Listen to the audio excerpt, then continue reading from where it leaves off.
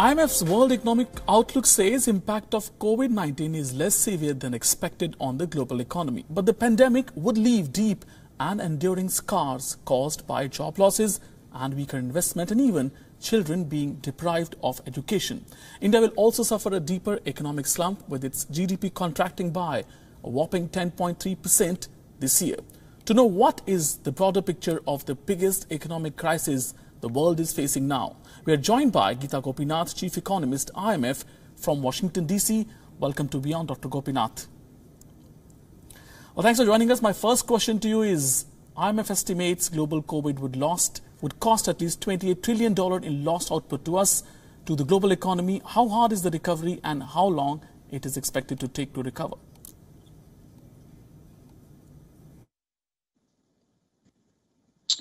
So we're describing the recovery as one that's long, uneven, and still remains highly uncertain.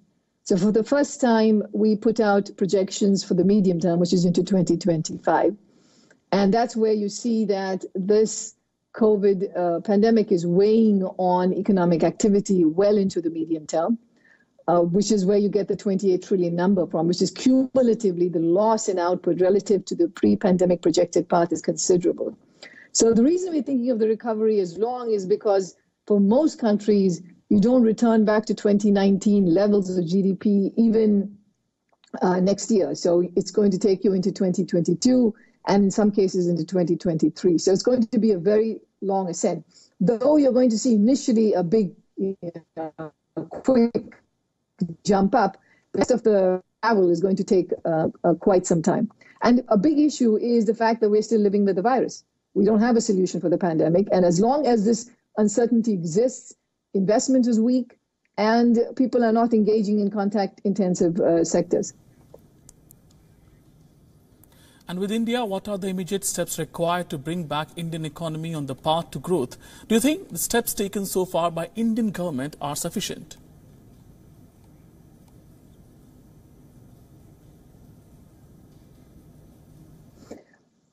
You know, the government has taken considerable steps, both in fiscal policy and monetary policy. On the fiscal side, uh, they've deployed uh, 7% of uh, GDP in fiscal measures, and that's really significant.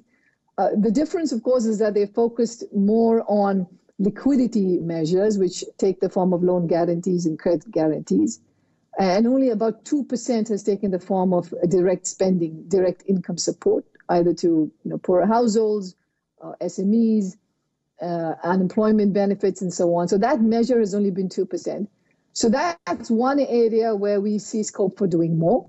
We think there can be more stimulus provided in the form of more direct spending support because that's what we're seeing is very effective around the world. So that's one way of bringing back, uh, making having a faster recovery. The second uh, is, of course, to continue focusing on health spending because as long as this pandemic continues to spread, that's an area that requires a lot of attention. But you know, it have to continue to invest into the uh, into the uh, future also. Also, support for SMEs are required. We see a greater scope for providing support to SMEs than what's being done at this point.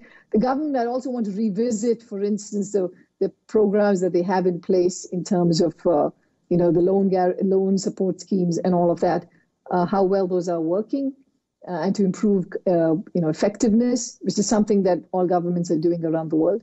And the third is a public investment spending uh, drive, and that's something that actually the government has committed to on a very large scale. So that's very welcome. That's another way of bringing back growth and uh, also bringing back jobs. And you also said India's recovery in FY22 could be a sharp 8%. But according to you, what steps are required more and what other steps are required for this?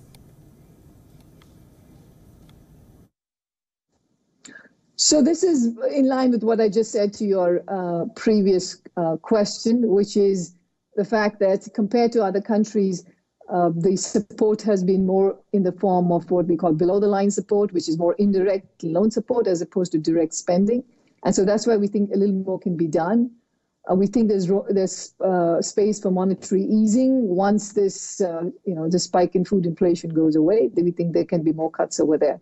So these are, these are the measures we were referring to. And stock markets across the globe have not performed as bad as uh, expected or as bad as the economy. So, what is the reason? Is stimulus money going to stock markets across the world?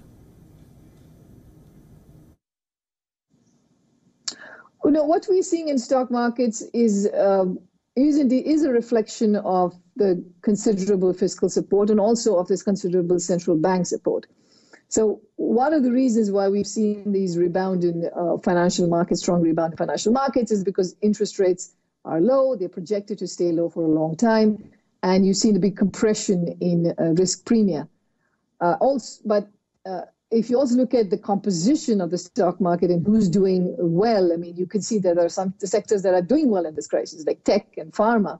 That's where you actually see the biggest increase in stock prices, while the sectors that are being hit hard, you know, you, you they're well below 2019 uh, levels.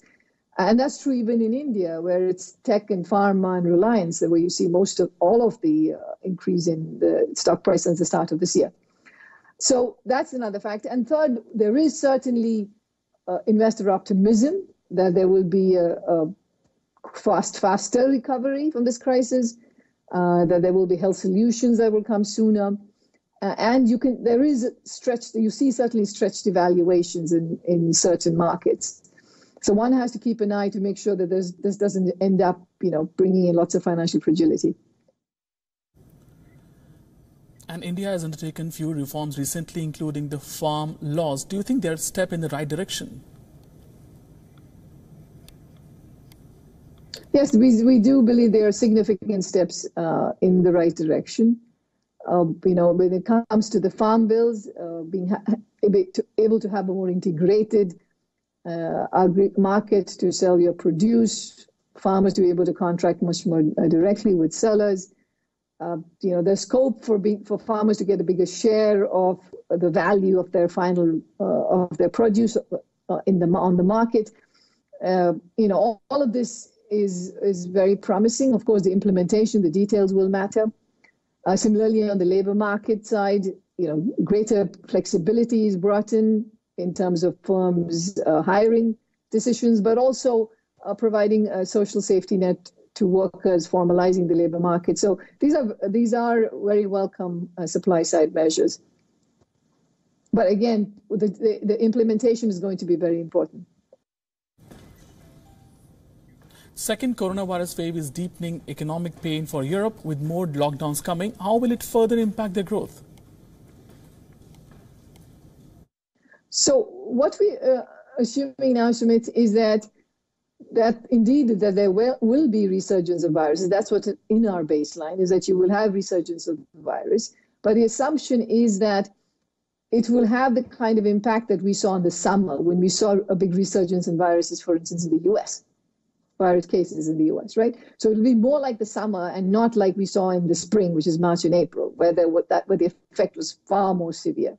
As long as that's the case, then that would be in line with our forecast. But if that's not the case, uh, you know, then that would be a downside risk. And I do think we've learned to live better with the virus. I mean, we've personally learned to live better with it.